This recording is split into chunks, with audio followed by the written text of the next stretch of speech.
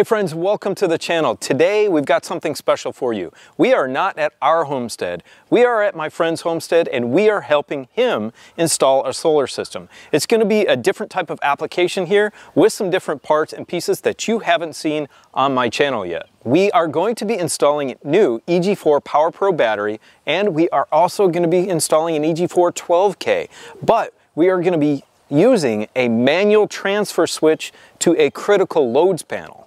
That critical loads panel is only going to have a few circuits on it to begin with, but there are some decent loads like the well pump, an air conditioner, and then our fridges and freezers and some lights. We will probably be doing this video in a two-part series, so stick around with us here on the channel to see how we are installing this system. Let's get going.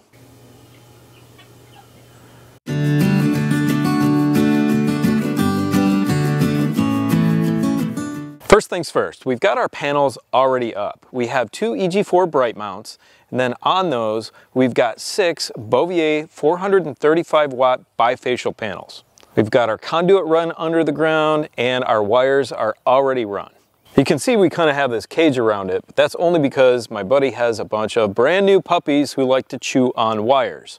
So since this is on a BrightMount and it's so low to the ground, we had to block everything off to be safe. Now let me show you where the system's gonna go in the house. Here we are in my buddy's utility room, and this is the only space really in the entire house where we can put the equipment. So I've got five feet of wall space to work with. I've got one 12K, the Power Pro battery, our transfer switch, and then our sub panel or a critical loads panel. Should work perfect on this little space. I recommend drawing everything out because when you're in a tight space like this, things can be a challenge to fit.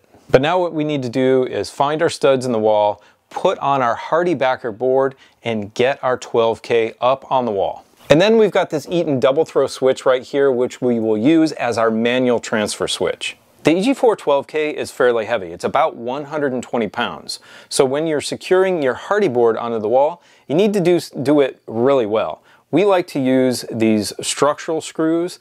They seem to hold incredibly well, and we are going to use a lot of them. Then the 12K comes with a bracket that we will mount also through that and into the wall. All right, let's start hanging stuff. We are making progress. We've got our Hardie on the wall. We've got a lot of these TimberLOK screws into the studs. That should be good, but I might put a few more. I'm not sure yet. We've got our wall mount, our EG4 wall mount battery right here, and we've got our conduit box together. Now, these are really nice, and I recommend you probably get one of these to contain all the wiring that's between our wall mount battery and the 12K. These don't come with any instructions and I couldn't find any, but it's not rocket science to put it together, it's a box. The bottom mounting plate just mounts directly to our wall mount battery and it's got a grounding wire attached to it. We'll attach that to the ground screw on the battery. We'll get the proper knockouts for our 12K and then we will connect this together like that.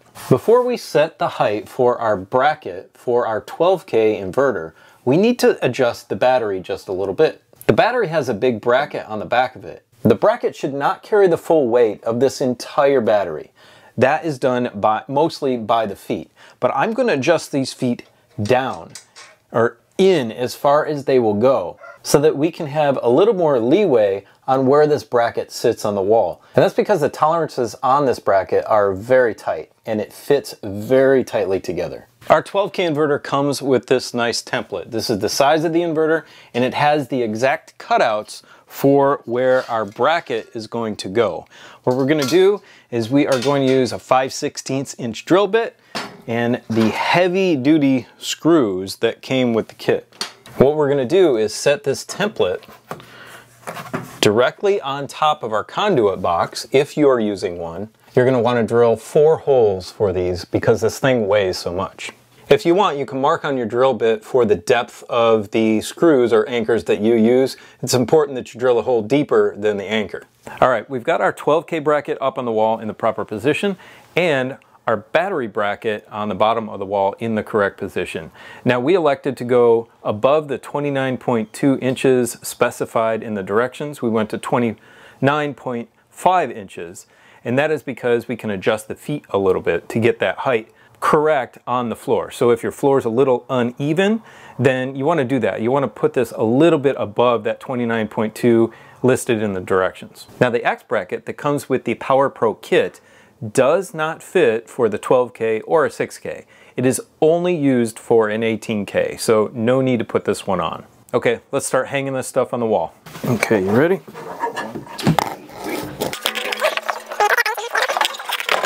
Okay, now you can see my feet are just a little bit above the ground, maybe 3 eighths of an inch.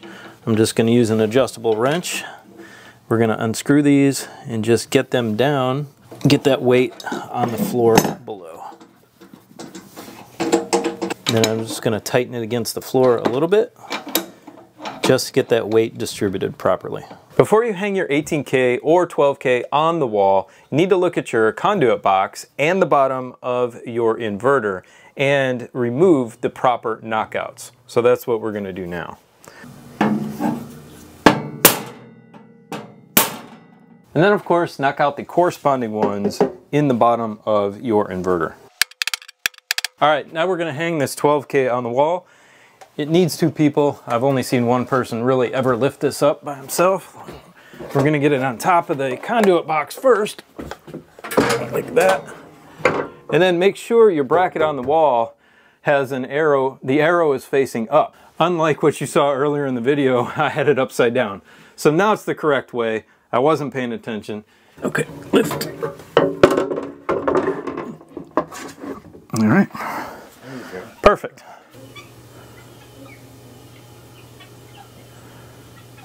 Something I didn't show earlier, but that's these little brackets for the 12K. They just connect down here and then they also go into the wall with a lag screw. We didn't have any lag screws to fit it right now, so we will be getting some extra ones and doing that a little bit later. Now that we have our battery and our 12K in place, we're gonna put some more HardieBacker on the wall to go behind our critical loads panel and our transfer switch, and then we are gonna get these up on the wall. All right, we've got pretty much everything up on the wall that needs to go up on the wall. And the challenge all the time is running conduit, and that's what takes pretty much the longest for me anyway. Let me show you how I set everything up. In the next video, we will show how we are wiring it. Okay, over here we've got our critical loads panel. Now I know what you're saying, this is an exterior box. I know that. My friend had this on hand, and to save money, we're gonna use it. It will work just fine. Up above that, we have our manual transfer switch.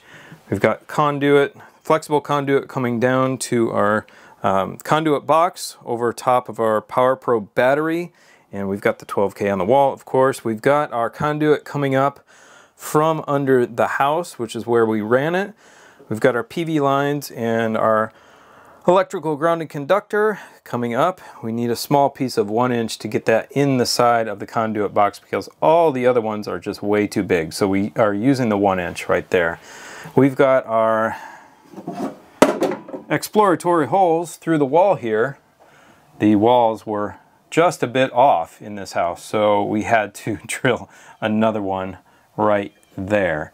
And then we will run our conduit body up like this, up to this side of the transfer switch, and then down this way to the top of our load center.